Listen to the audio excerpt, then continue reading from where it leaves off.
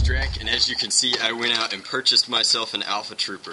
It has not been modded, it is completely stock. I love this blaster even stock. I've got a clip here with four darts in it, and my favorite thing about this blaster is that it gets 30 feet ranges easily stock, and it has slam fire capability.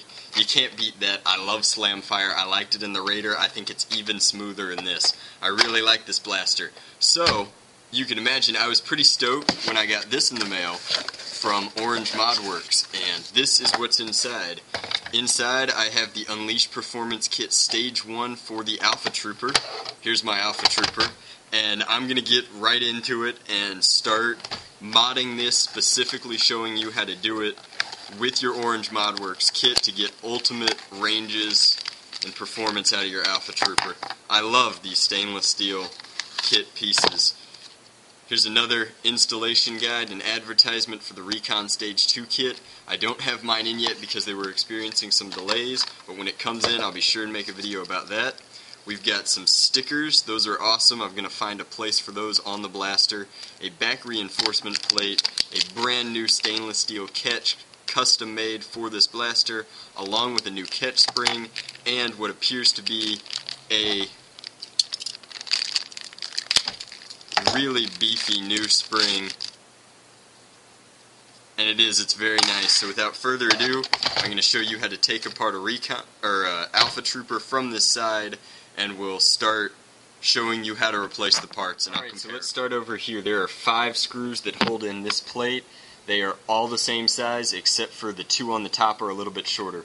Once you do that, it butterflies off very easily, and you can deal with the rest of your blaster all of the screws in here are this standard size right here, except for there are three smaller ones. They're located here, here, and here on the rail attachments. And then there are three larger ones in the handle, and they're at the thickest points of the handle. Then over here, there are two screws here that are just absolutely tiny. They're that size. And other than that, there are just two more main body screws in the back. Once you remove those, it slides off and you can set it aside then the blaster should break into two halves.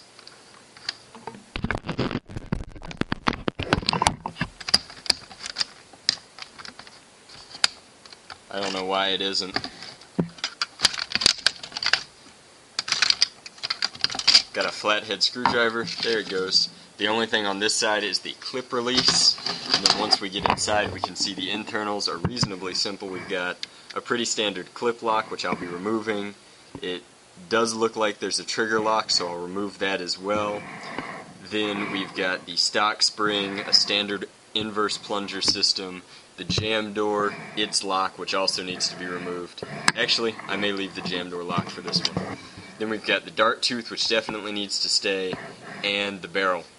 Other than that, I'm going to start breaking it down, taking out the pieces, comparing them to the Orange ModWorks kit, showing you where everything goes back into place. So you can see here that the plunger assembly comes out pretty easily. I left this bar attached just because it's easier to leave it attached and not fool with it.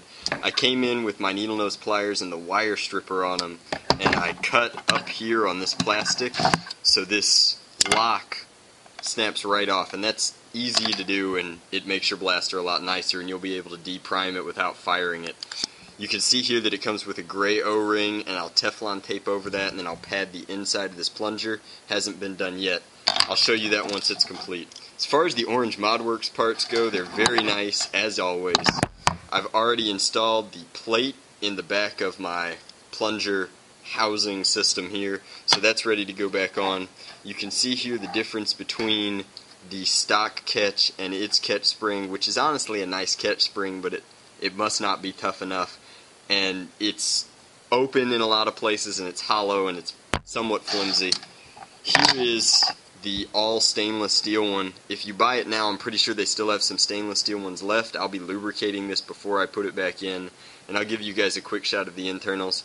It's been soldered there and there, and these look like really nice welds. I'm very pleased with this part. The catch spring here is very tough. I like it a lot. It fits onto this notch and I'll probably put a bead of hot glue on just to make sure everything's super stable. Here is the stock spring, which I can compress really easily. And then here is the orange ModWorks spring, which is pretty tough, and it takes a lot more force for me to compress it. So I'm going to do all of my mods to the plunger tube now, drill out that AR, Teflon tape it, re-grease everything entirely, probably lithium grease the catch, and I'll show you the internals, put it back together, and fire you. Alpha Trooper had a new style air restrictor in it that was really easy to take out. I've been told recently that you can tap them out with hammers. I, of course, went with my trusty Dremel bit that's really long, and that worked remarkably well. I just drilled out the two posts holding it into place, and you can see that I get a really clean shot through it. I like these new air restrictors a lot better. I've also Teflon taped the O-ring. I'm about to tape over the air release hole with E-tape, which is just as easy as using some sort of putty or epoxy or goop, and it's a whole lot. I think it looks nicer when I'm done.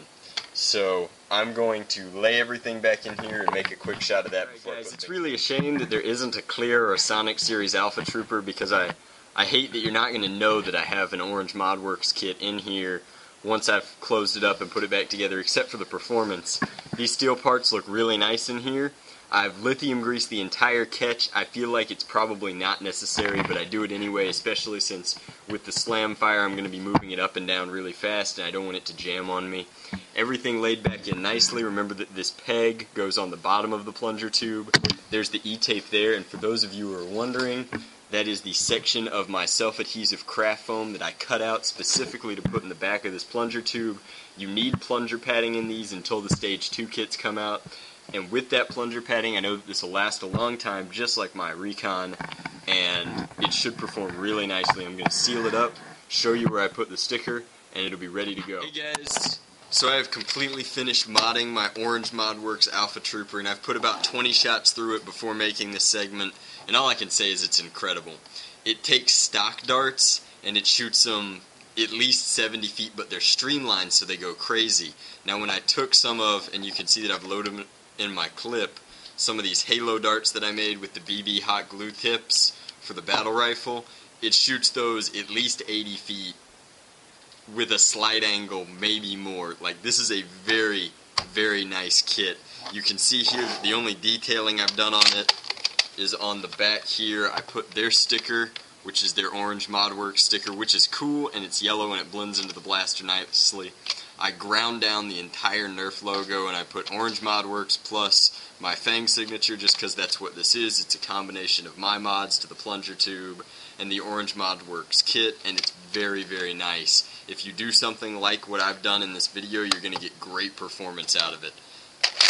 When I put in this clip you can see it's shooting my modded darts really nicely. The slam fire still works I'm going to slam fire the last three darts in here, which are stock. And it's just got so much power behind it now. I lucked out. The way that I did the Teflon tape wrap, and I'm going to tell you exactly how I did it. I did one and a half wraps of Teflon tape, put the O-ring back over it, and used a combination of lithium and silicone grease. The way I did that, it actually vacuum loads the darts as it pulls the plunger forward, and that's really nice because I'm getting just maximum range out of this with every shot. I can't express how happy I am with this kit. If you want one for yourself, all you've got to do is go to tinyurl.com slash orangemodworks and the store is there and you can find everything including the recon kits but this is the alpha trooper kit that link's going to be in the description below as well i'm really pleased with it the only other thing i have to say with this video is that if you can hear it in the background there is a storm at my studio right now, which is why the two commissions that I'm working on, which are the Fang Strike Long Strike and the Batman Style Maverick, have both been delayed slightly just because the second and third coats of paint can't go on while it's raining outside, and I can't paint inside like I can at college.